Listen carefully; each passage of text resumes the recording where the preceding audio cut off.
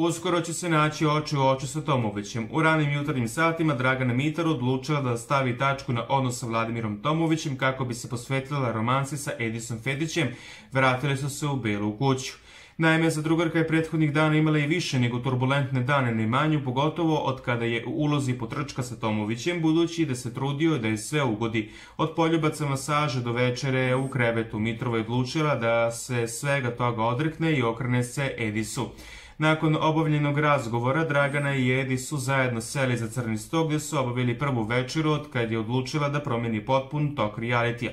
U video prilogu na zvaničnom YouTube kanalu Zadruge vam je dostupna cela ova situacija, a šta će biti večeras u večerašnjem izdanju emisije Gledanje snimaka, možemo samo da naslutimo. Stoga ostanite uz nas i uz RTV Pink.